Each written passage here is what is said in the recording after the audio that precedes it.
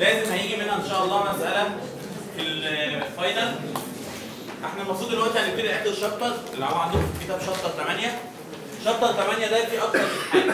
هو بيتكلم بصفة عامة عن تصميم هامات الخوازيق أو ال pile cap الهامة بتاعت الخوازيق هو العنصر المسؤول عن نقل حمل العمود للخوازيق. أنت المفروض دارس أو أنت جاي من الأحمال إن حمل العمود مثلا 200 طن. وانت عرفت تحسب الكيو الأول للخوازيق طلعت مثلا 60 طن يبقى انت مش هينفع تحت كل عمود تعمل خازوق واحد يبقى انت محتاج مجموعة خوازيق تشدد بعضها يعني مثلا 200 على 6 على 60 فيها كام؟ 3 بس يعني نقول أربع خوازيق بالتقدير يبقى انت محتاج أربع خوازيق يتجمعوا مع بعض ويبقى في عنصر هو اللي ينقل الحمل من العمود للخوازيق دي. نتيجة طبعا إنه بينقل الاحمال دي هيبقى في محتاج تسليح ومحتاج أبعاد معينة يبقى انت مطالب تعمل تسليح وتعمل تشيكات والكلام ده. يبقى أنا مطالب مني دلوقتي إن أنا أعمل تصميم للبايل كاب اللي هو العنصر اللي هينقل حمل العمود للخوازيق. طيب إيه هي أنواع المسائل اللي عندي؟ كل سنة الدكتور بيجيب نوع من المسائل دي. أول حاجة اللي هو لو أنت عندك حمل العمود حمل normal بس يعني الخازوق حمله 200 قصدي العمود حمله 200 طن. تاني حاجة إن في moment يعني مثلا أنت بتصمم الرجل بتاع ال frame فهيبقى في عزوم هيبقى متكونة عنه مثلا. تاني تالت حاجة العزوم بسبب ال eccentricity. ودي لما جت قبل كده كان الدكتور عامل جار بالمنظر ده كده. فلو أنت جيت عملت خوازيق مثلا طلع أربع خوازيق هتلاقي في eccentricity ما بين سي جي الخوازيق وسي جي العمود. الحمل العمود ذات نفسه normal يعني مفيش moment في حمل العمود. بس هيتكون عزوم بسبب وجود eccentricity دي برضه لها طريقة تعامل مختلفة. بعد كده طبعا لو انت عندك بقى عمود جار صريح وعندك عمود تاني انك تربط ما بينهم بإيه؟ ب strap. شبه ال isolated بالظبط بس بدل ما مرتكز على ال soil مرتكز على مجموعة من الخوازيق تمام؟ آخر حاجة ال combined اللي هو عندك عمودين وتربطهم مع بعض بقاعده واحدة وبرضه بتبقى تحت الخوازيق ده ال design اللي عندك. اتفضل. والتاني. لو قدرت ترص الخوازيق بحيث ان مفيش eccentricity تبقى شاطر. طب لو ما عرفتش؟ يعني مش كل مرة هتنفع. تمام. طب هو ده يعني هو ده زي الانفيشن مغطي الجروب كاب إيه؟ زي الانفيشن كده مغطي الجروب كله ولا في النص زي البلال ده الكاب وده العمود. هيبقى العكس يا باشمهندس؟ تمام. كل سنة الدكتور بيجيب نوع من أنواع دي وساعات لما بيبقى في مومنت بيبقى في مومنت في اتجاه واحد أو مومنت في اتجاهين تمام؟ النهارده هنشرح ال normal بس. وإن شاء الله السكاشن اللي جاية هنشرح ال moment. سواء ده أو ده في section وإن شاء الله ده في section وده في section تمام؟ إن شاء الله بقى عندنا مجمعه كتير الفترة اللي جاية اديها لك حاجة حاجة قفل خلاص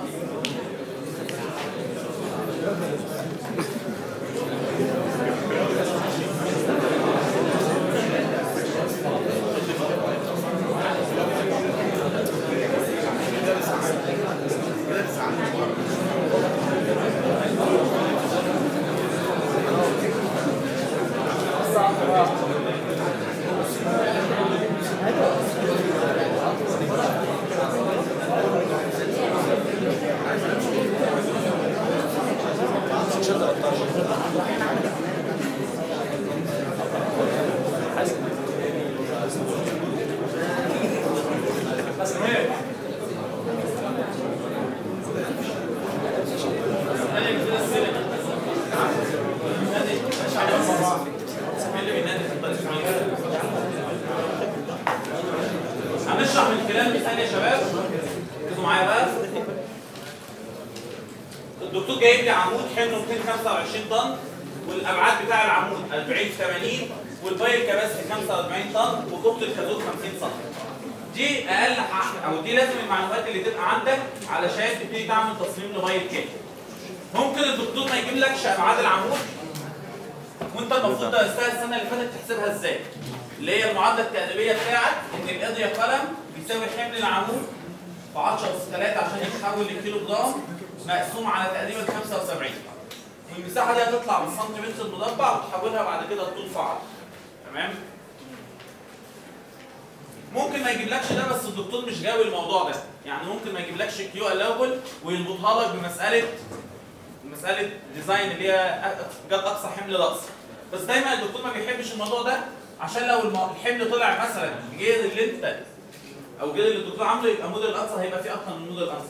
من قصدي يعني الدكتور بيبقى مثلا مبدئيا كده عامل إن الخازوق حمله كذا عشان هو عارف إن الخازوق هيطلعوا اربعه أو خمسة أو ستة. فبيبقى عامل على الأقل شكل متوقع النتائج في حدود قد إيه الشكل العام الكلام تمام؟ طيب. عشان تبتدي تعمل تصميم هم تقريبا 8 أو 9 خطوات بسيط جدا بس لازم تفهمهم كويس قوي خلي بالك إن ال moment وال normal اللي هي إن شاء الله ال section الجاي هيبقى فيه اختلافات عن ده. فالكلام ده مش هنرجع نقوله بالتفصيل تاني. فأنا عاوزك النهارده تفهم الأساسيات إحنا بنعمل إيه بالظبط وبنعمل ليه كده. عشان لما أجي أقول لك ده إحنا هنغير في كذا وكذا وكذا بسبب العزوم هقول لك بس التكييف مش هقول لك كل حاجة. تمام؟ أول حاجة إنك تجيب عدد الخوازيق التقريبي عدد الخوازيق التقريبي هيجي من المعادلة إن N هيساوي ال P column مضروب على ال Q allow والمفروض تضرب هنا في eta eta اللي هي كفاءة مجموعة الخوازيق تمام؟ يعني انت المفروض عندك 225 طن طبعا تضرب في 1 1 من 10 225 تضرب في 1 1 من 10 وتقسم على 45 وتضرب بعد كده فيها شباب eta eta اللي هي الكفاءة بس إحنا في مسائل ال pile cap كمسألة pile cap دايما بنعتبر ان الكفاءة بواحد كمسألة pile cap بقى صريحة مش مسألة design والكلام ده بنعتبر ان الكفاءة بواحد لانها مش هتفرق معاك في حاجة. يعني هي الفكرة في عدد الخوازيق. إنما كطريقه تصميم مش هتفرق معاك. عدد الخوازيق هنا هيطلع خمسة ونص. طبعا هيتقلب يبقى كام؟ ستة خلي بالك إن في رصتين دايما في رص عدد زوجي اللي هو دايما بتبقى مستطيل وفي رصه بتبقى staggered أو زجزاج اللي هي بتبقى العدد الفردي. النهارده هنشرح مثال على عدد زوجي وإن شاء الله ال section الجاي هيبقى عدد فردي. يبقى إحنا كده لمينا الاثنين إن شاء الله. طيب طبعا أقل عدد من الخوازيق اثنين. ما ينفعش عدد الخوازيق يبقى واحد. يعني ما ينفعش حتى لو عمود شمعة يبقى في خازوق واحد.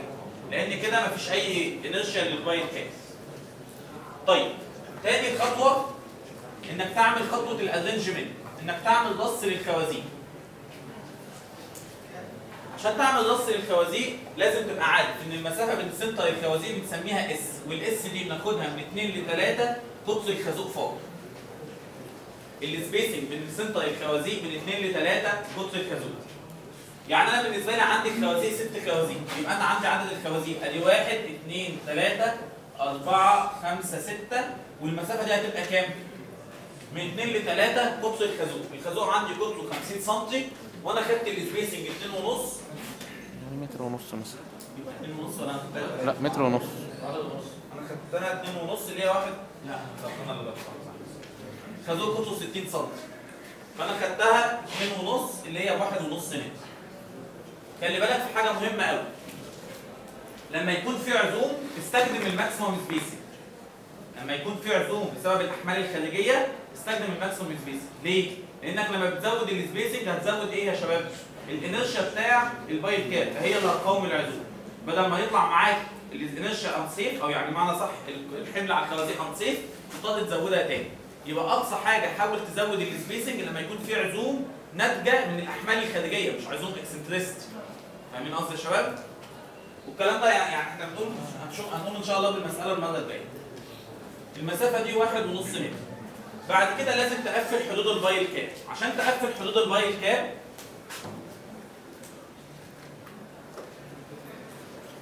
بترسم خط كده يمر بين center الخوازيق والخط ده تعمل له اوفست من مقدار فاي تمام؟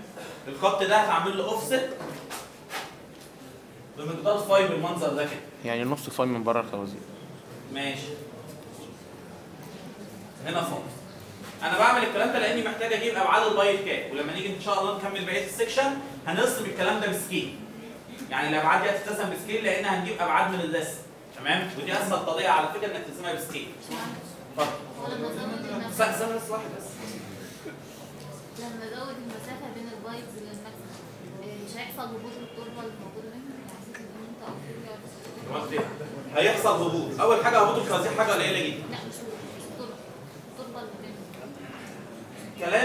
حاجة مهمة قوي. باشمهندسة بتسأل في حاجة ثانية أو سؤالها كده فعلا حاجة منطقية جدا. باشمهندسة بتقول إن الخوازيق لو تباعدت المسافة ما بينها ده هيسمح إن ال... ال... ال... يحصل ديفليكشن كده. طبعا مش بالمقدار المهول قوي ده بس. فاهمين قصدي؟ الدرافت أو اللبشه ما بين الخوازيق هتبتدي تنزل تنزل على التربه فهتأثر باجادات على التربه أنا نفسي في شغلي يحصل الكلام ده عشان التربه تشيل لو حتى 1% من الأحمال. تمام؟ ودي بنسميها بقى piled raft يعني raft آه، تشتغل كشغل آه، shallow foundation وكمان شغال على خوازيق يعني بيحصل مشاركة ما بين التربه والخوازيق في شيل الأحمال الرئيسيه وعشان الكلام ده يحصل لازم يكون ليه علاقة بقى بال spacing مع سمك ده علشان نشوف هيحصل تضخيم قد إيه والكلام. تمام؟ بس بالنسبة لي يا باشمهندسة الإنشاء بتاع ال pile دي حاجة قوية جدا. تمام؟ فالسوق الأول لما هتهبط لو أي حاجة يعني لو ال spacing قليلة والتربه هبطت حاجة بسيطة هتلاقي الأحمال بتتنقل مباشرة للعنصر الأقوى اللي هو الخوازيق تمام؟ لو بقى المسافة كبيرة قوي في بعض الأحيان زي مثلا لما بكون بقاوم الابليفت بعمل السبيسنج 6 الفاي و10 الفاي وحاجات كده كبيرة. ففي الحالة دي بقى ممكن يحصل تضخيم على التربه يبقى ممكن التربه تشيل. وهي دي تشيل معاك دي مش حاجة وحشة يعني. يعني ممكن أقول مثلا إن البايظ ما بينها بتولد عن طريق لما لا ما بتولدش حاجة. هي اللي قاعدة بتسيح بتستعمل كونتاكت مع الصيف يحصل تنقل في الإجهادات. بس. لأن لو طلعت مثلا باربعه ونص ينفع؟ آه غلط. لازم تقرب لأقرب واحد. طب كلام الباشمهندس حاجة الناس كتير بيعملوها. الرصة الزوجي أسهل من الفرد فيقول لك أربعة ونص يا عم خليها ست. لا خليها ستة دي لما تيجي تشتغل برضه إنما هنا بتقرب لأقرب واحد بس. هلعب في الأرقام وخليها تبقى خمسة وواحد؟ نعم. هلعب في الأرقام واوصلها لخمسة وواحد؟ طلع الأرقام إزاي؟ وعشان كده الدكتور بيحسب لك الايتا بواحد هو الدكتور بيخلي لك الايتا بواحد عشان سواد عيونك يعني؟ عشان ما حدش ولا 7 من 10 طب 72 عشان يظبط لي الأرقام. لا طبعا. إنما حمل العمود ثابت واحد واحد ثابت. اختيار الأول ثابت طيب. بعد كده ركزوا معايا. هتشوف فين سنتر الخوازيق عشان سنتر الخوازيق ده يبقى هو سنتر إيه يا شباب؟ center العمود طبعا الرصه الزوجية ما فيهاش مشكلة طب لو أنت بقى عندك مثلا عدد الخوازيق ثلاثة. أي عدد فردي أو في الجانب العدد الفردي بيبقى السبب اللي هو زجزاج لو عندك الخوازيق عددها ثلاثة المسافة دي اللي هي اسمها إيه يا شباب؟ S هتيجي في center المسافة S وهتطلع مسافة رأسية 87 من 100 ال S ليه 87 من 100 الاس؟ عشان المسافة المايلة تبقى اس اللي هو المثلث 30 60 والكلام ده ولا 5 ما أعرفش المثلث كام 45 واحد على 45 كذا ولا اثنين إيه؟ واحد على كذا اثنين نص اللي فوق 30 واللي هنا 60 من 60 لا من فوق 30 خلاص أنا مش عارف الرياضة عشان يبقى المقابل نص الوقت هو اللي فاز يلا هو ده. طيب ركزوا معايا. عشان تعمل حدود ال pile cap هترسم خط يوصل ما بين الخوازيق كده والخط ده هتعمل له اوفست بقيمة فاي بس ما ينفعش يتكون زوايا حادة في ال pile cap لأن الزاوية الحادة دي هتلاقيها جاية مبسوطة قوي وهتتكسر أكيد. يعني. ما ملهاش أي أهمية. فإحنا بنعمل لها حاجة زي chamfer كده بنعمل لها كسر كده بحيث إن الخط ده يبقى موازي للخط ده. والمسافة دي بتبقى فوق الكلام ده إزاي هترسمه بسكيل بمثلث اديسون الخط ده هتنقله هنا وبعدين تعمل له اوفست بزاوية أو بقيمه فوق تمام؟ وهكذا الخطين دول. هيبقوا موازيين لدول. وده وده كده هيبقى موازي لدول. ده نفس الكلام حتى لو خمسة برضه؟ أي زاوية حاده بتعمل لها شنفه بالطريقة دي اتفضل لو خمسة بقى. إيه ده خمسة؟ ثلاثة دول ثلاثة piles لو أنا piles نفس الكلام برضه. إحنا لسه هنقول أنا. طيب. فين بقى center الخوازيق يا. شباب؟ center الخوازيق طبعا هتقول إن ده مثلث التلت والتلتين كلامك صح بس أنا عاوز أدي لك القاعدة الاساسيه اللي بتحسب بيها ال eccentricity إزاي؟ أنت بتفرض أول حاجة بتشوف فين خطوط التماثل هل في خطوط تماثل في اتجاه X أو Y؟ آه طبعا في ده اتجاه خط Y. تماثل وعلى تمام؟ الميل كده وعلى يبقى ال CG هيقع على الخط ده تمام مكان فين بقى قول إن ال CG على بعد مسافة Y من أحد ال datum وخلي ال datum بيمر دايما باحد الخوازيق تمام؟ يبقى أنت هتفرض إن ال CG بتاع الخوازيق اللي هو هيبقى CG العمود بعد كده على بعد Y مسافة من datum اللي هو يمر بالخوازيق في كام خازوق بعيد عن ال datum خازوق واحد. مسافته قد إيه؟ 87 من 100 إس. عدد الخوازيق الكلية كام؟ ثلاثة طب ما هي التلت والتلتين يا باشمهندس؟ كلامك صح بس لو انت بقى عندك مسألة زي اللي جت في 2011 وفي 2008 جت واحدة زيها برضه. ده الربع والرباعي كده يعني هنا كمان صح. والدكتور جايب العمود حمله هنا. وكل المطلوب بتاع السؤال كان ده سؤال المطلوب اللي فيه احسب الحمل على الخوازيق أول واحد قال لك الحمل على الخوازيق ده أنا عندي 20 خازوق وعندي الحمل كذا اقسم الحمل على عدد جبت القوه في الخوازيق لا طبعا. لا ما شالش هو أكيد اتخرج أكيد مش هيفضل موجود لحد دلوقتي لأنه 2011 تقريبا. طيب. طب أنا 2011 لسه موجود لحد دلوقتي. الفكرة كلها إنه أكيد هيبقى فيه اكسنترستي بالمنظر ده كده. طبعا المحور ده محور ثلاثي فما فيش فيه اكسنترستي في اتجاه فأنت عاوز بقى تجيب سجل خوازيق طب إزاي تجيب سجل خوازيق افرض انها على بعد. افرض ان السجي على بعد مسافة إكس من أي ديتا وخلي الديتا ده يمر باكبر عدد من الخوازيق هنا في كام خازوق؟ أدي 1 2 3 4 5 6 7 مثلا. يبقى سبع خوازيق في مسافة كذا. زائد 2 خازوق في مسافة كذا. زائد 2 خازوق في مسافة كذا. زائد 2 خازوق في مسافة كذا. على عدد كل الخوازيق في كل مسافة تمام؟ نشوف هل الاكس بقى هو دول نفس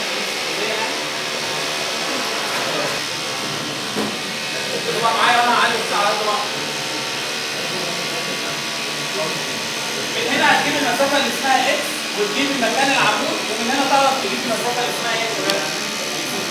يبقى انت لو عاوز تجيب تجيب أي مجموعة خوازيق لازم تعرف إن هو على محور تماثل لو مفيش محاور تماثل يبقى هتنسب السي جي لمسافه x أو y على حسب أنت عاوز تجيب x أو y تمام؟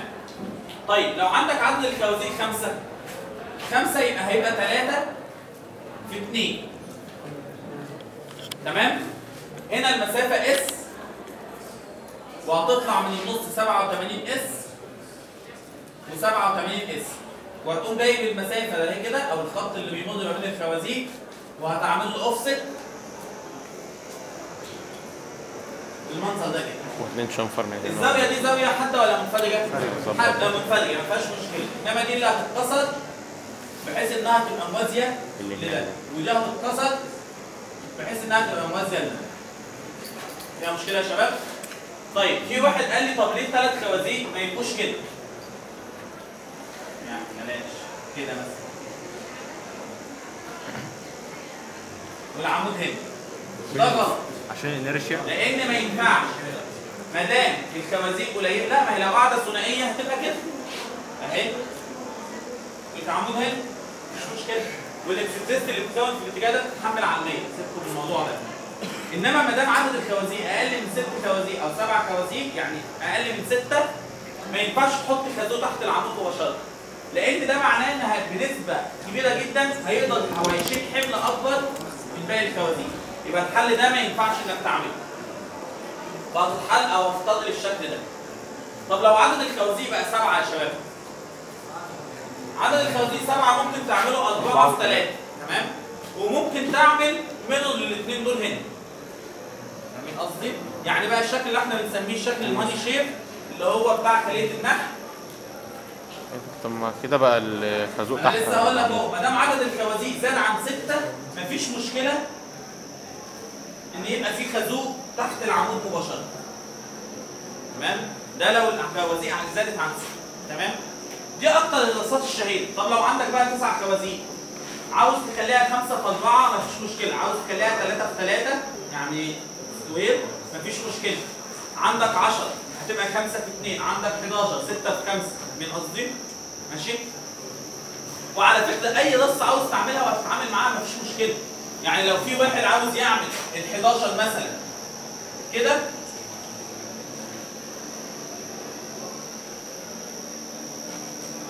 دي ممكن تنفذها برضه. إنما هنا عشان تتعامل مع المسألة هتبقى صعبة. السي جي هترجع تحسبه تاني لأنه مش مش هيبقى متعود على الشكل الجديد ده والكلام ده. إنما في ظروف الموقع ممكن تعمل أي رصة بالنسبة لك تمام؟ فيها مشكلة يا شباب؟ طيب. طب أنا لو عاوز أجيب ال CG هنا يا شباب هجيب ال CG إزاي؟ في محور تماثل؟ آه في محور تماثل اللي هو المحور ده. يبقى ال CG على بعد مسافه y من ال datum اللي تحت ده مثلا. في كام عمود بعيد أو في كام خازوق بعيد عن ال datum؟ اثنين اثنين مسافتهم؟ سبعة point تمانية سبعة. على عدد الخوازيق الكليه خمسه تمام؟ يبقى هي دي المسافة اللي اسمها y. فيها مشكلة؟ تمام يا شباب؟ خلصنا أو خلصنا من خطوة ال arrangement بعد ما تعمل ال arrangement لازم تجيب أبعاد ال pile cap بقى اللي عندك. لو هو كان شكل ثلاثي أو بالمنظر ده كده هتبتدي تقيس الأبعاد. لو هو شكل مربع زي ده تقدر تحسبها بسهولة. يعني المسافة دي واحد ونص والمسافة دي واحد ونص وهنا φ وهنا φ اللي هي 6 من 10 6 من 10 هتلاقي المسافة دي 24 والمسافة دي هتلاقيها 72 تمام؟ لأني هحسب ال area دلوقتي بعد شوية. واضح الكلام لحد دلوقتي؟ الخطوه الثالثة هي ال approximate thickness thickness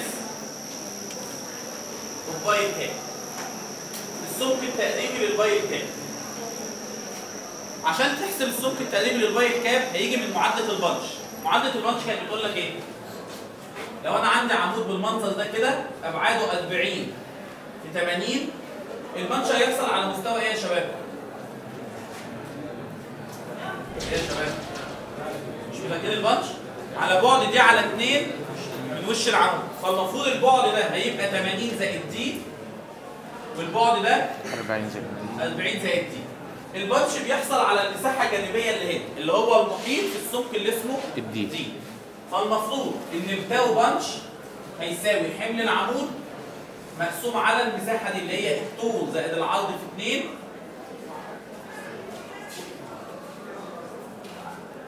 في الدبس.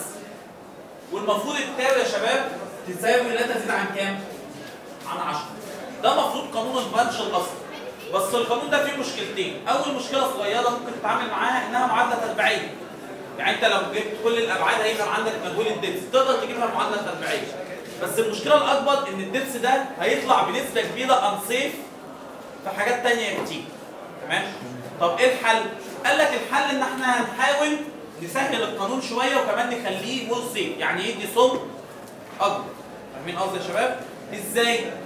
هتفرض إن البنش هيحصل على المستوى ده على العمود ذات نفسه. وفي المقابل القيمة دي هتبقى 8 مش 10 تمام؟ يعني القانون الجديد بتاعي هيبقى عبارة عن 40 زائد 80 بس. 40 زائد الدي قصدي 80. زائد 80 في دي وتساوي الكلام ده بكام بقى؟ ب 8 8 يبقى تقول قايل 225 طبعا هتتحول لكيلو جرام لأن القيمة دي في كيلو جرام على السنتي المربع يبقى 5 225 في 10 اس 3 مقسومة على 2 40 زائد 80 في الدرس اللي أنت عاوز تجيبه الكلام ده هتساويه بكام؟ ب 8 المعادلة دي؟ أنا عكست أنا شرحت صح بس عكست في الأرقام هي المفروض القيمة 8 ولما أنت تعمل بالقانون ده العشرة زيد ركزوا معايا أنا قللت المعاملات يبقى لازم أرفع القيمة مش هقللها فاهمين قصدي؟ يعني القيمة دي وهتلاقي الحل على كده القيمة دي المفروض القانون الأصلي قيمتها كام يا شباب؟ ثمانية 8 بس أنا عشان واخد قانون تقريبي هخليها ب 10 أنا اللي غلطت في الارقام من هنا هيطلع الدبس معاك 94 سم أو 93 وكاس 93 وكاس الكفر المفروض بيبقى من كام لكام يا شباب؟ هو من 5 ل 10 أو من 7 ل 10 مش هيفرق بالنسبة لي. تمام؟ فأنا خدت السمك أو خدت الكفر 6 سم فبقت السكنس بكام يا شباب؟ ب 100 سم فاهم مشكلة؟ واضح الكلام لحد دلوقتي؟ طيب بعد كده دي الخطوة الثالثة فيها مشكلة؟ والتاني آه أنا فاهم قصدك الباشمهندس بيقول لو عندي مثلا سبع خوازيق يا باشمهندس المفروض وأنت بتعوض في معادلة البنش تطلع حمل القلم الكازوز يعني البي قلم ناقص الكيو الأول الكافيه طب لو ما طلبتهاش أنت كده نصين جيت جاي بقول لك أصلا الارقام دي هتتسيف معاك في الباقي كله؟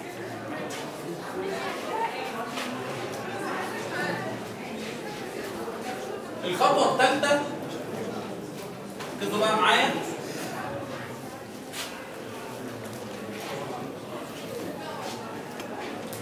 إيجاد القوة الفعلية اللي على الكوازين اللي تشيك على الفوسفوس في البايب المفروض القوة اللي على الخازوق الواحد يا شباب F pile ده هيساوي إيه؟ حمل العمود زائد ال own weight بتاع ال pile cap مقسوم على n ال own weight بتاع ال pile cap انت تقدر تحسبه دلوقتي. عبارة عن إيه بقى؟ 24 في 72 في 1 في 2 ونص.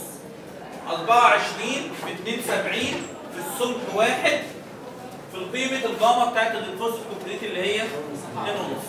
نعم. آه قصدك لو المساحة كده منتظمة. هنقولها ال section الجاي دي أول حاجة. كده كده هتبتدي تقسمها بس وأنت وشطارتك يعني أنت ممكن تقسمها إزاي لو مساحة زي دي؟ ممكن تعتبرها مثلث وتطلع ده تضرب في ثلاثة دي أسهل حاجة. طب لو عندك شكل خماسي؟ لا. اتنين شبه منحرف أسهل؟ تمام. وحتى دي ممكن تنفع اتنين شبه قصدي؟ هنتعامل معاها بس مع السكشن جاي أنا عاوزك النهارده تفهم انك في الخطوة دي هتحسب ال own weight weight بقى المره دي سهل. أنا مش عايز أعقد لك كل حاجة مع أول مرة. المرة الجاية هيبقى ال own weight أصعب شوية لأن المساحه كانت نعم. لحد دلوقتي مفيش عزم.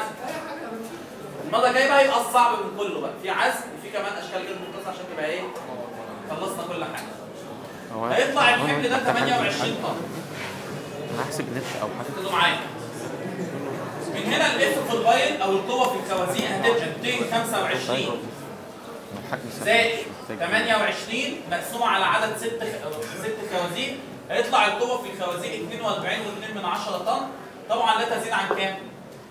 عن ال Q allowable اللي هي 45 دايما لما هيبقى الحمل normal هتطلع المعادلة دي safe لأن الواحد واحد من عشرة اللي هو ال 10% الزيادة دي بتبقى تقريبا قد ال own weight فعلا فاهمين قصدي؟ لما يبقى في عزوم بنسبة كبيرة هتطلع المعادلة دي unsafe والمعادلة بقى تكمل فاهمين اللي هي معادلة ال stress؟ بس طبعا هي موجودة في الكتاب بشكل آخر وهنقول جه منين ال section الكامل بس أنا عاوزك تقتنع إن في معادلة ال normal أو لما يبقى الحمل normal دايما المعادلة دي هت safe معاك في ال moment بنسبة كبيرة هتطلع unsafe طب لو طلعت unsafe بنعمل إيه؟ بتزود عدد الخوازيق. ترجع تعمل خطوة ال arrangement تاني وبعدين تحسب ال area تاني وبعدين ترجع تعمل الخطوة دي تاني. تمام؟ وده طبعا اللي بيطول المسألة كتير.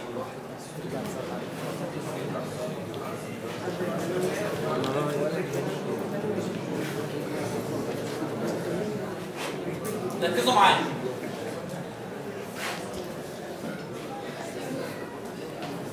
أنا املي في ربنا وفي السوق الكبير؟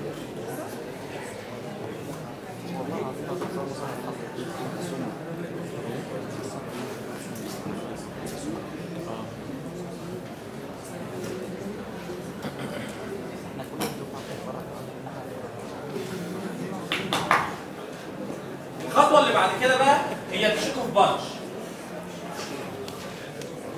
إنك check بقى على ال punch بجد بالقوانين الأصلية لل punch يعني هتقوم قايل ال tau لل punch هيساوي حمل العمود مقسوم على إيه بقى يا شباب؟ 2 40 زائد ال d اللي هي 94 زائد 80 زائد ال d اللي هي 94 في البعد 94 القانون الأصلي اللي إحنا كنا أصلا كاتبينه قبل ما نعمل تسهيل للقانون. والبي قلم طبعا ب 225 وهتضرب في كام؟ 10 اس 3 1000 أو 10 اس 3 القيمة دي المفروض ده تزيد عن كام بقى؟ 8 عن 8 كيلو جرام على السنتيمتر هتطلع معاك سهم البذر قوي. هتطلع معاك 3 و8 من 10 لا تزيد عن 8 يبقى اذا الموضوع إيه يا شباب؟ zero الخطوات الخطوات دي مفيش منها مشكلة وسهلة جدا. ركزوا بقى معايا في الخطوات اللي جاية. الخطوات اللي جاية يا شباب إحنا هنشتغل عند ال center ال pile cap؟ الطريقة اللي بنشتغل بيها اللي اسمها ال beam method بنشتغل عند center ال pile cap؟ center ال pile cap هنا؟ هنا في stress اسمه I 2 إيه ال stress اللي اسمه I 2 ده يا شباب؟ ده الإجهاد الناتج من ال own weight لل pile cap؟ تمام؟ ال stress اللي اسمه I 2 ده موجود على المساحة بالكامل تمام؟ أكيد شغال عند ال center هنا. هنا في أحمال قد إيه؟ بسبب ال own weight gamma في ال t تمام يا شباب؟ يعني I 2 بالنسبة لي هي عبارة عن ان السيس بتاع الاون ويت اللي هو هيساوي جاما في التي اللي هو بالنسبة لي 2 ونص في 1 ب 2 ونص طن على المتر المربع. هو إحنا نعم. فارضين ستريب واحد متر. فارضين إن إحنا نشغل ستريب واحد متر. أنا قلت كده؟ إيه اللي ضربنا جاما في تي بس ما ضربناش شغال جاما في تي. أقول لك الاستسلام متوزع على المساحة. حضرتك متوزع على لاين. تمام. قطاع فيبان إن هو هنا. إنما أنا بقول لك متوزع على مساحة. آه. تمام؟ زي ما كنا بنرسم يا شباب أو بنشتغل على كمرة نقول أول أحمال هو حمل الإيه؟ أنا دي شغال على المساحة دي كلها. أول stress عندي أو أول إجهاد عندي هو ال own weight اللي عندي. فيها مشكلة؟ طيب. في عندي قوة اللي هي القوه اللي في الخوازيق. قوة الخوازيق دي بالنسبة لي هيبقى مكانها فين؟ في center كل خازوق تمام؟ طب قيمتها قد إيه؟ اف موبايل اللي إحنا بنسميها اي 3 اللي هي بكام؟ القوة الحقيقية في الخوازيق اللي هي 42 في 2 من ثلاثة 10 طن فيها مشكلة؟ تمام؟ طيب العمود بقى العمود اللي هو حمله 225 طن هل هيوصل هنا مركز ب 225 طن؟ قال لك لا دايما الاجهادات هتتنقل بميل واحد لواحد في الخرسانه تمام؟ فالإجهاد بتاع العمود أو الحمل بتاع العمود قصدي هيوصل لإجهاد بيتوزع على المساحة دي تمام يا شباب؟ بما إن البعد ده دي على 2 لأن إحنا كل شغلنا بالدبس طبعا فده كله الدبس يبقى الحتة دي كام؟ دبس على الاثنين فهتلاقي المساحة اللي متوزع عليها حمل العمود هي هي مساحة إيه؟ أو المحيط بتاع مساحة ال punch اللي هو b زائد d في a زائد d تمام يا شباب؟ المساحة دي عليها stress اسمه I واحد. I واحد ده هو ال stress الناتج من حمل إيه يا شباب؟ حمل العمود. طب ال I واحد دي تتجاب إزاي؟ هو حمل العمود اللي هو 225 225 طن على أبعاد المساحة دي طب البعد ده كام؟ مش ده 8 من 10 وده 4 من 10 زود دبس على الاثنين ودبس على الاثنين يعني زود الدبس كامل هيبقى 1.74 اللي هي 8 من 10 زائد 94 من 100 والبعد ده هيطلع 1.34 تمام يا شباب؟ فيها مشكلة؟ يبقى تقسم على 1.74 و 1.34 هيطلع الكلام ده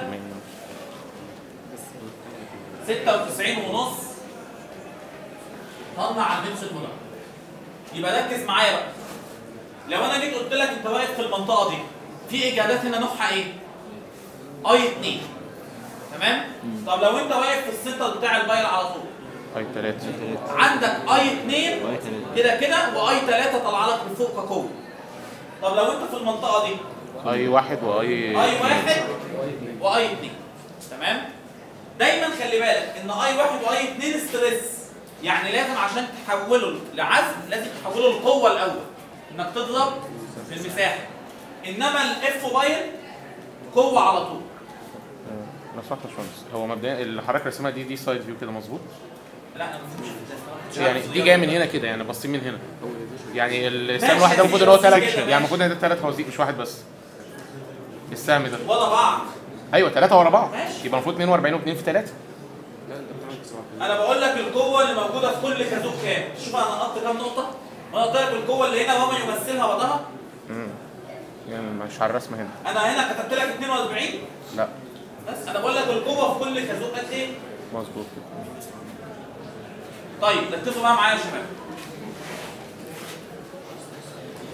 المفروض تعمل check على ال shear الأول وبعدين تعمل design لل moment أنا بقول لك اهم حاجة ال design لل moment لأن ال shear هيطلع safe 100% يبقى يهمني الحاجة اللي أجيب منها الحديد علشان ابتدي اعمل الرسم بتاعي. تمام؟ design of moment انت بتاخد قطاعين طبعا خلي بالك إن ال pile cap شبه ال isolated footing يعني الحديد بتاعها حديد إيه؟ صفر بس هتجيب حديد في اتجاه x وحديد في اتجاه y يبقى أنت هتاخد قطاعين أول قطاع هيبقى بالمنظر ده كده. section واحد واحد. على وش العمود تمام يا شباب؟ طب العزوم هتبقى جاية لي منين؟ القطاع جاي كده. معلش بقى هندسه ده المفروض يبقى هنا بس مش هيفرق بالنسبة لي. أنا قصدي إن القطاع على وش العمود القوة جاية لك منين؟ جاية لك من حاجتين أو من ثلاث حاجات. قوة ال pile هيبقى قوة في مسافة. تمام؟ زائد ال stress اللي اسمه اي 2 ركزوا الأول وبعدين اضرب في المسافه وال stress اللي اسمه أي 1 ركزوا الأول وبعدين اضرب. في المسافه تعال بص على الكلام ده بقى. هنا الرسمة دي في الكتاب في الامتحان لازم تترسم. واضحة جدا. ب scale ممكن يبقى مش 1 ل 100 يعني تكبر شوية. يعني 1 ل 50 مثلا أو 1 ل 25 على حسب الأبعاد اللي عندك. وهتبتدي تقيس من على الرسم. يعني أنت هنا واخد القطاع تشتغل من الناحيه دي أو من الناحيه دي مين أسهل؟ من الناحيه دي في عندك كام بايل؟ اتنين. اثنين يبقى اثنين القوة في الكازوق الواحد كام؟ اي تلاتة. 42 و2 من 10 اللي هي اي 3 المسافة ما بين ستة للخازوق وما بين وش أو القطاع اللي عندك؟ اس اسمها بقى أربعة من بالمسطرة. عشرة. هتقول لي سهلة يا باشمهندس. أنا عندي ان ده. المسافة دي كلها نص القعد. وبعدين نطلع أرض العمود. كلام صح. طب لو عندك العدد فردي هتقعد تحسبها كده كل شوية؟ ما انت راسم ب scale قيس وخلاص. تمام؟ يبقى أنا عندي المسافة دي تقدر تحسبها طلعت معاك بالظبط.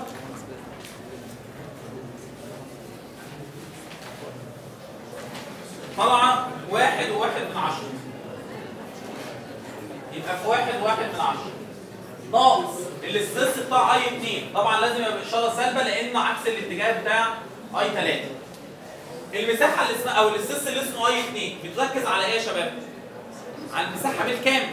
يعني البعد ده 72 وهتجيب البعد ده هيطلع 71 يبقى قبل ما تجيب العزم ركز القوة الأول. تقوم قايل ناقص اي 2 اللي انت معاك قيمتها مضروبه في كام؟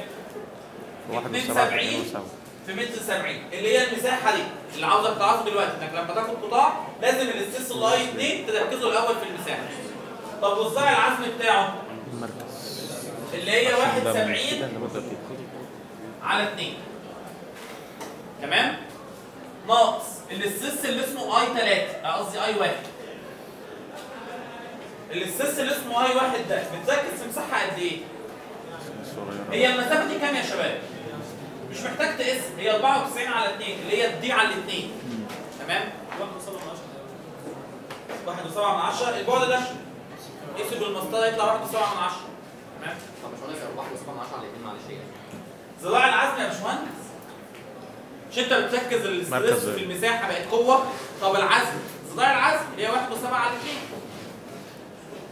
طيب اي واحد هركزها الأول. التركيز بتاعها هيبقى في بعد كام في كام يا شباب؟ ده 1 34 صح؟ والبعد ده كام؟ 94 على 2 94% على 2 يبقى هتقوم قايل في 1 34 في 94% على 2 طب بصاع العزم عندك كام؟ 94% على 4 الحتة دي كلها 94% على 2 يبقى نصها إيه يا 94% على 4 ليه الرقم يا شباب؟ بس أنا مش مش عارف الرقم ده هيبقى كام. 6 47 ولا 46 94% على 4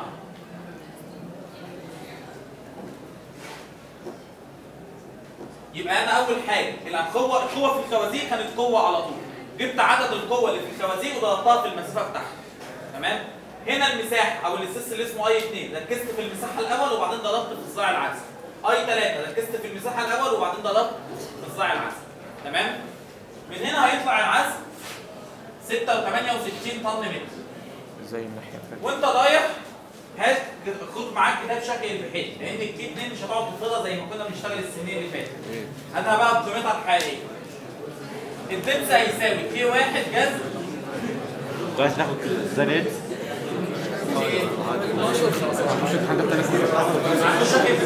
هخش بتلات كتب رن عليا بس يوم الامتحان وأنا أجيب اشيلها معاك التلات كتب الدبس بالنسبة لي 94 ركزوا معايا اي 3 إيه اي 3 اللي هي القوه في الخوازيق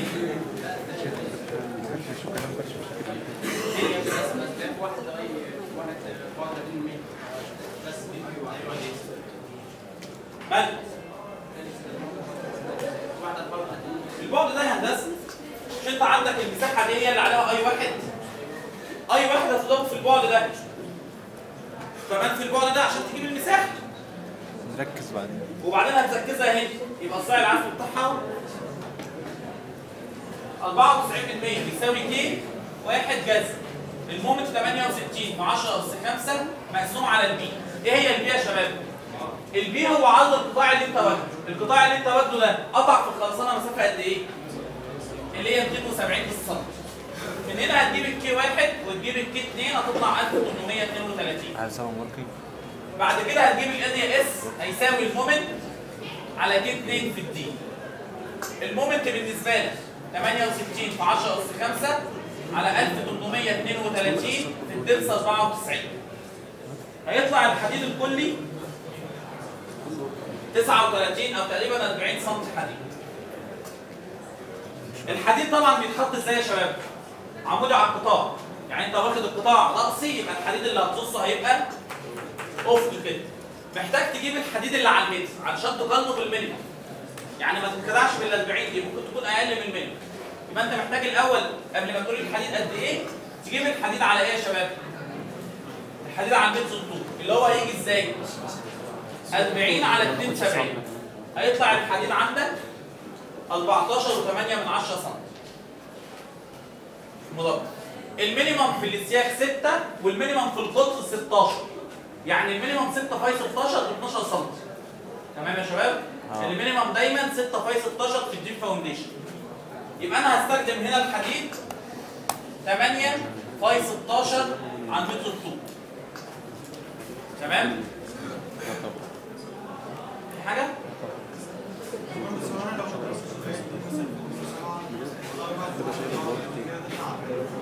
تطلع إيه؟ لا. لا. لأن باشمهندس بيقول طب ليه يا باشمهندس ما اشتغلناش شريحة واحد متر زي ما كنا بنشتغل في بتاع رد فعل التربه uniform فانك تشتغل على شريحة مفيش مشكلة. إنما هل قوة ال pile uniform على المساحة؟ ما ينفعش. تمام؟ والآي 2 أو قصدي الآي 1 uniform على المساحة كلها؟ ما ينفعش. فأنت لازم تاخد القطاع كله. تمام؟ تعالى نشتغل على القطاع الأولاني أو قصدي القطاع الثاني اللي هو M 2 2 ينفع نكمل هنا باشمهندس بس؟ نعم. ينفع نكمل هنا؟ كمل نكمل هنا نمسح نكمل هنا. لا مش هينفع اكمل لأن هنا هنسم هعمل البوم. اعمل إيه؟ أصل ده المومنت هتشيل صداع العزم اللي باللزه ده يبقى بوند على طول. فأنا مش هركب المومنت ده هنا؟ معاك هنا؟ لا هنا أحسن.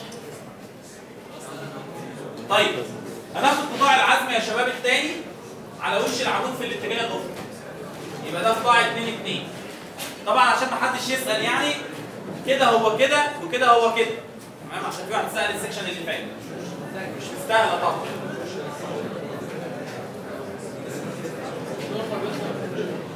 كلامك صح مليون في المية في ال normal بس في ال moment هيتغير الكلام وهنقول لك القطاع فين هنا المرة دي عندك 3 pile يعني نعم لو العدد كان فردي والله العظيم السكشن الجاي هنقول عدد فردي لا إيه علاقه الخازوق أو العمود بالعدد الخوازيق أدي العدد فردي اهو يا سيدي وأدي العمود بالخازوق هنا. هتاخد القطاع كده صح؟ وزيه زي أنا فاهم القطاع الثاني هنا هتقول قوة في مسافة قوة في مسافة. تمام؟ لو خدت هنا يا باشمهندس كده دول ثلاثة بس الظاهر العزم بتاعهم قليل. تمام؟ ودول اثنين بس الظاهر العزم بتاعهم أكتر فهتلاقيهم هيوزنوا بعض. أو ممكن يبقى في اختلافات بسيطة بس مش هتفرق معاك لأن كده كده أصلا أنت يعني القيم عندك بتبقى مسيبة والحديد بيبقى أنت مزود فيها كده كده أصلا شغال في السيستم. لأن ما أقدرش أقول لك حل وشوف مين فيهم الكريدت. ركزوا معايا يا شباب. هنا المرة دي عندي ثلاث خوازيق. المسافة بينهم أو المسافة من center الخوازيق يا شباب. المسافة دي هتطلع معاك تقريبا بنص. من center الخوازيق لحد وش العمود أو 55% بالظبط. يبقى في نص. ناقص. ال stress اللي اسمه آي 2 هيضرب في مساحة كام؟ البعد ده كان كام يا شباب؟ كان 24 تمام؟ والبعد اللي هنا ده كده 1 و15 من 100 يبقى في 24 في 1 و15 من 100 في 1 و15% على الاثنين اللي هو الصاع العزل. ناقص اي واحد ركزها الأول. المساحة بكام؟ البعد ده 1.74 والبعد ده 94% على الاثنين. يبقى نقوم قايلين 1.74 ف 94% على الاثنين. طب والظاهر العزم بتاعها؟ 94 مني على 4 شبه اللي فاتت يا شباب الموضوع بسيط يعني. هتجيب من هنا العزم هيطلع 44 طن متر هتجيب الكي واحد ومنها هتجيب قيمه كي 2 وأنت بتعوض هنا. جذر كي واحد جذر ام على بي البي بكام يا شباب؟ 420 عرض القطاع اللي أنت قاطع فيه. هيطلع الحديد في الآخر 25 سم مربع. لازم تجيب الحديد اللي عند المتر الطولي هيطلع 6 سم مربع. زي ما اشتغلنا هنا بالظبط. 6 سم مربع ده أقل من المتر يبقى ال area S بالنسبة لي كام يا شباب؟ لأن ال 6 في 16 على المتر الطولي ب 12 سم تمام؟ واضح الكلام لحد دلوقتي؟ طيب. بعد كده المفروض الخطوة check على ال bond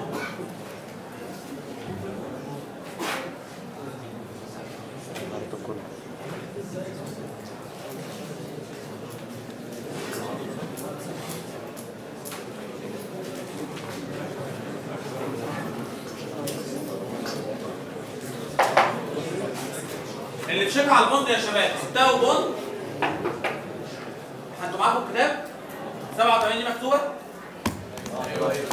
تمام Q bond ده ده الكود القديم الكود الجديد ما فيهوش 87 ال Q bond مقسوم على 87% الدبت في سمشن اللوب حيث ال Q bond هي إيه يا شباب؟ ال Q bond هو ال shear عند ال maximum moment يعني قطاع ال bond هو هو قطاع ال shear يعني قصدي هو هو قطاع العزم بس من غير ذراع عزم يعني إيه الكلام ده؟ يعني انت عندك العزم كان بيساوي اتنين اللي هو عدد الخوازيق ودي القوة في الخوازيق. يبقى كده القوة. والمسافة دي هي إيه؟ ذراع العزم. ذراع العزم. ودي كده القوة تركيزها وبعدين ذراع العزم. وهكذا ده ذراع العزم. صح؟ لو عوضت في نفس المعادلة بس شلت ذراع العزم هنا وهنا وهنا يبقى ده مش ال moment يبقى ده إيه يا شباب؟ Q b Q bond اللي انت عاوز تحسبها يبقى خطوة ال bond أعملها على طول ورا عدد خطوة ال moment عشان تسهلها على نفسك تمام؟ يبقى أنا خلاص معايا ال Q bond هيطلع معايا بالأرقام 12 طن. يبقى التاو bond بالنسبة لي. 12000 12 في 10 أس 3 مقسوم على 87% 94 94 طب السمشن إيه يا شباب؟ السمشن أو هي المساحة الجانبية لحديد التسليح المستخدم. القطاع ده انت مستخدم فيه حديد تسليح قد إيه؟ 8 باي 16 يبقى 8 المساحة الجانبية للسيخ الواحد هي باي في 1 و6 المحيط باي في ال فاي تمام؟ في 8 بس الكلام ده كان لإيه يا شباب؟ المتر وأنا بقول لك ان قطاع ال moment ال bond هو هو قطاع ال moment اللي عرضه كام؟ يعني لازم الحديد يبقى للعرض 72 مش للمتر فلازم هنا ترجع تضرب في 72 تمام؟ تاني يا باشمهندس. يزعلك ما قبل كده. افرض إن البعد ده 3 وأنا حاطط لك هنا 6 سياج في المتر أنا عاوز الحديد الكلي في القطاع. يبقى كام؟ 6 في 3 18 سي. بس. جبت المساحة الجانبية اللي على المتر وبعدين ضغطت في البعد علشان أجيب اللي على القطاع كله. اتفضل.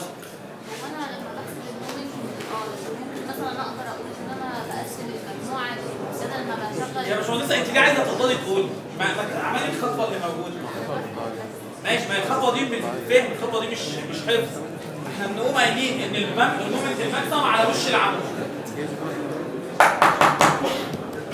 المومنت الماكسيمم على وش العمود يا باشمهندس؟ تمام؟ لأنها بالظبط شبه الصوت بقى يا شباب.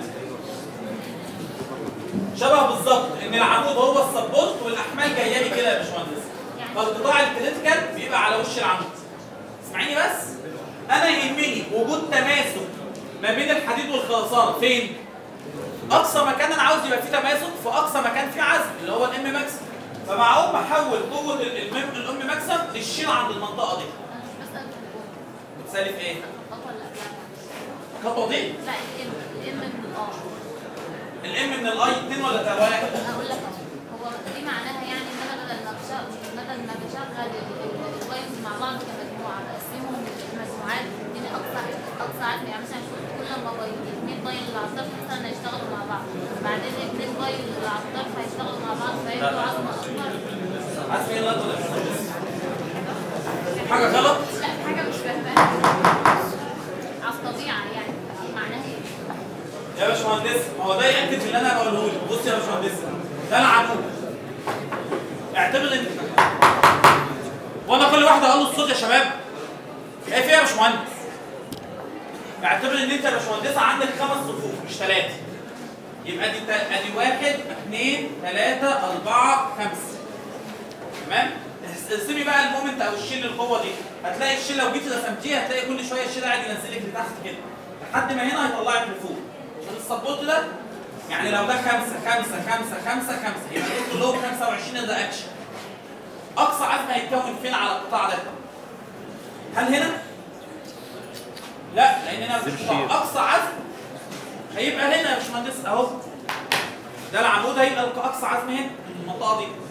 قوة فذا مش مش معناها بقى إن أنا قسمت الكازوين دول لوحدهم والكازوين دول لوحدهم لا. هو ده ناتج مثلا من على وش العمود.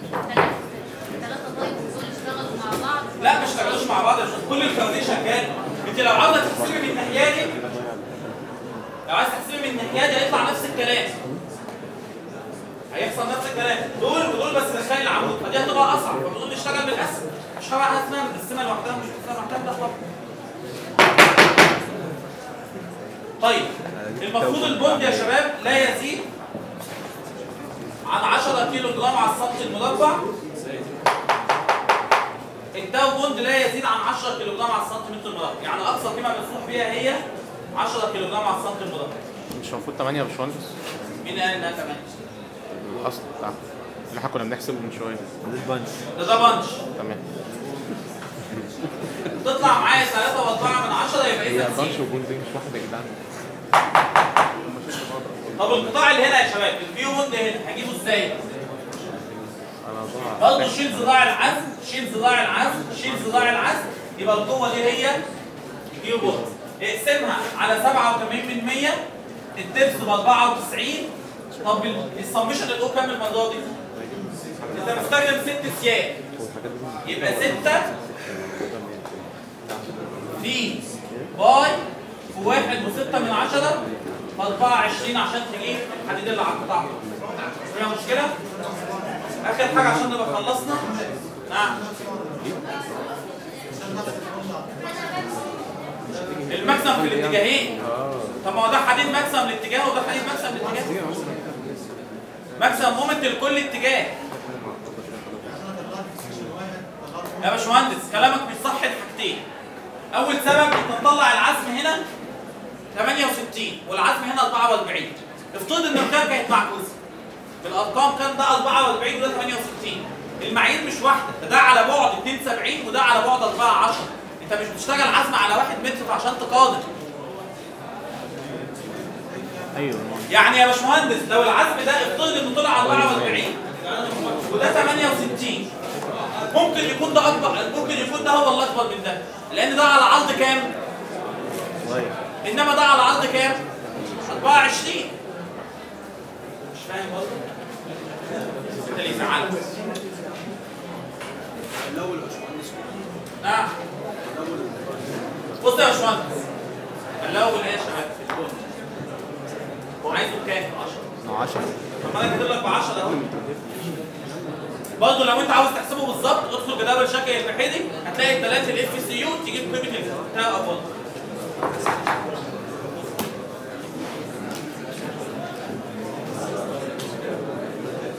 بص يا باشمهندس. لو انت عندك في المنطقة دي stress ال stress ده ب 10 تمام؟ والبعد ده باثنين العزم هنا بكام؟ العزم هنا يا باشمهندس هيبقى 10 ركز في واحد؟ ركز في اثنين ركز في نص الصاع العزم اللي هو واحد العزم اللي انت جايبه ده كان لشريحة كام؟ لو انت بقى عندك شريحة واحد متر اهي وال X بتاعها دي بقى بواحد ونص مش باتنين العزم هنا فعلا هيطلع أقل من هنا ليه؟ لأن برضه العزم ده لشريحة واحد متر يبقى أنت بتقارن شريحة الواحد متر بعزم شريحة واحد متر إنما هل ينفع تقول لي لو البعد ده مثلا 3 وال X بتاعه بواحد ونص. عارف العزم هنا كرقم هيطلع أكبر من ده. بس ده الشريحه كام؟ 3 متر. لو عاوز تقارن هات لي شريحه 1 متر. عشان ال... أنت بتجيب العزم عشان تقارن لازم يكون في data ثابت بالنسبة لك حاجة تقارن بيها. اللي أنت شغال على عرض معين. برضه مش فاهم؟ structure يا شباب. خلاص أنا structure وكل حاجة.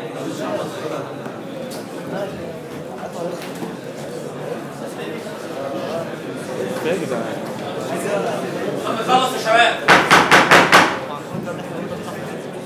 عايزين نعمل الشيك أوف شيل.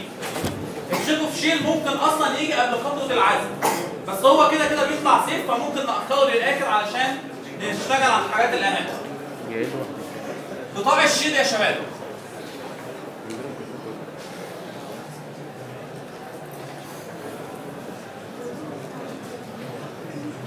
عشان تجيب القطاع بتاع الشيل تطلع من العمود.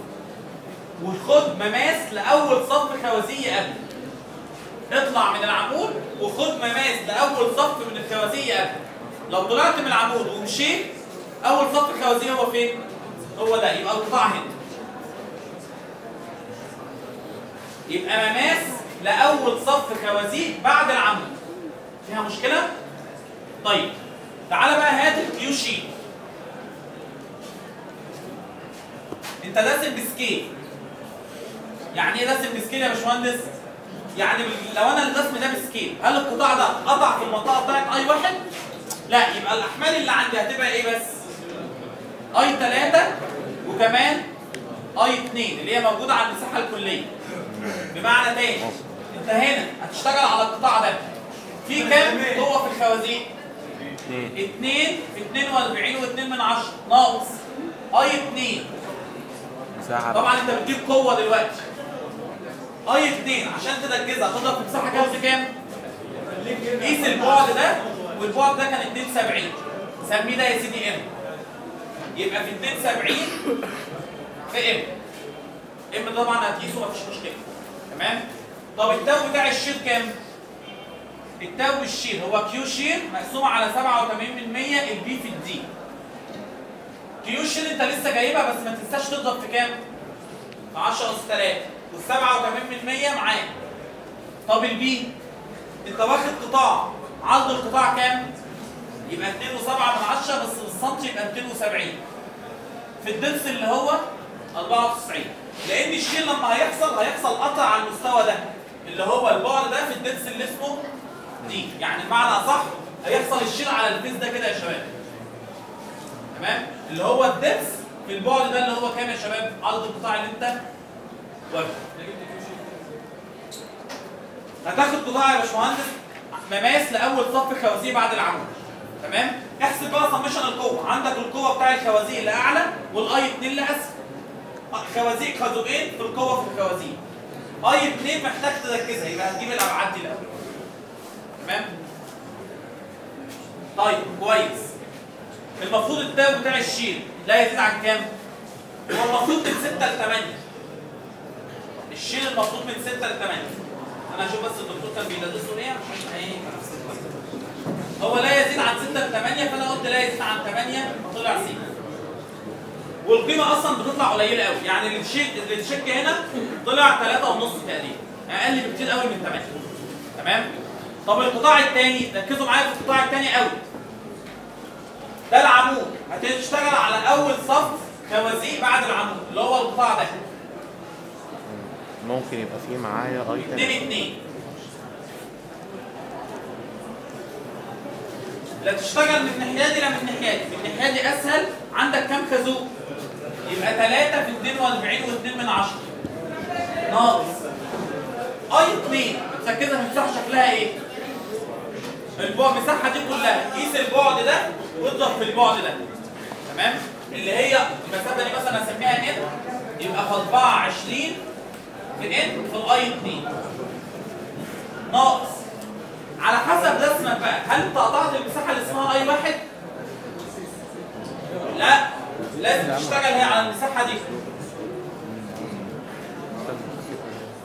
يبقى هتقوم قايل ناقص آي واحد في المساحة دي طب المساحة دي كام في كام؟ البعد ده كان 1.74 والمسافة دي قيسها بقى تمام؟ وفي الآخر في المساحة هتقوم قايل ال tau لل shear هيساوي Q shear اللي انت لسه جايبها 10 أس 3 على 87% ال B بالنسبة لي بكام المره دي؟ ال B بقى عرض القطاع اللي هو 420 في ال depth اللي هو 94 تمام؟ واضح الكلام لحد دلوقتي؟ الدك... على فكرة قطاعات ال shear السنة اللي فاتت كانت غير كده. ال shear ليه مليون ألف قطاع لأنه على حسب ال arrangement بس الدكتور عاوز يثبت حاجة بمعنى أصح ساعات لما يكون ال- القعدة خماسية أنت عارف فين ال shear أنت عارف يعني إيه ال shear يا باشمهندس؟ يعني القعده تتقطع تمام؟ ممكن ال shear يحصل هنا. ليه؟ هتقول لي ده pile واحد بس البعد اللي بيقاوم ال shear قد إيه يا شباب؟ قليل. تمام؟ وممكن يحصل هنا. لأن هنا خازوقين ووزن العرض ده مش كبير. أو ده ده بالنسبة كده. ممكن واحد يقول لك لا ده أنا هشتغل على بعد D زي ال shallow foundation أو D على اثنين تمام؟ أو دي ال shallow foundation كانت على بعد D. ال shallow foundation كانت ال deep foundation ال shallow foundation كانت الإجهادات منتظمة. إنما أنت هنا عندك الإجهادات الأحمال اللي جاية لك مركزة في أماكن اللي هي الخوازيق تمام فالدكتور السنة دي بعد ما قال لك كذا نظرية قال لك اشتغل مماس لأول صف خوازيق بعد العمل آخر حاجة الرسم بقى عشان نبقى خلصنا حضرتك كام عدد؟ الساعة كام؟ بص معاك. ما أنت اللي جاي معانا يا باشمهندس هو دكتور عادل موجود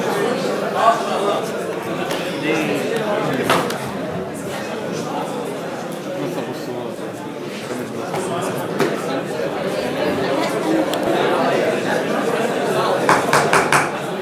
ركزوا معايا يا شباب حاجة هترسم plan ال plan ده طبعا ب scale وهتوضح فيه الخوازيق طبعا وانت رايح الامتحان إن شاء الله هات شبلونه للدوائر وشبلونه للمربعات عشان ممكن الخوازيق تجي لك مربعه تمام؟ طيب التسليح بالنسبة لك كان الاتجاه ده. الصوت بقى يا شباب. الحديد اللي في الاتجاه ده كان 8 phi 16 على المتر الطولي. والحديد اللي في الاتجاه الثاني كان 6 phi 16 على المتر الطولي بعد كده بتشتغل على قطاع القطاع ده لا إما يمر بالخوازيق لا إما يمر بالعمود. اختار اللي أنت عاوزه. يعني بس ما حدش يقول لي أنا هاخد القطاع هنا. تمام؟ لو أداك القطاع يمر بالخوازيق يبقى أنت كده قطعت في الخوازيق بمعنى اصح هيبان تسليح الخوازيق التسليح بتاع الخوازيق طبعا مش هيبقى ارقام كـ indication بس وترسم الكنات ال spiral في المنطقة دي. وهكذا الناحية دي. وهكذا التاني. إحنا هنعمل الحاجات دي هو عمق الاشياء في ال pile كده قد إيه يا باشمهندس؟ لازم تعدي نص ال pile كامل. وما تقلش عن ال دي ال دي اللي هي 125 متر آه سنتي قصدي أو آه، 65 ال phi أيوه ما أقدر تمام؟ الحديد هيبان عندك. انت قاطع في الاتجاه ده يبقى الحديد ده هيبان بكامل شكله. وما تنساش على دي برضه. اللي هو 8 phi 16 على المتر الطولي. والحديد الثاني. هيبان إيه يا شباب؟ هنا. هيبقى 6 phi 16 على المتر الطولي. لو السمك زاد عن 60 أو 70 بنعمل 2 phi 12 ركزوا معايا. انت مش محتاج تعمل حديد علم بس دايما ال pile cap عشان تضمن إن الأحمال هتتنقل بانتظام على الخوازيق تبقى محتاج تزود ال rigidity بتاع ال pile cap. فعشان تزود ال rigidity ناس كتير قوي بيعملوا شبكة تسليح علويه بتبقى 6 12 أو 7 12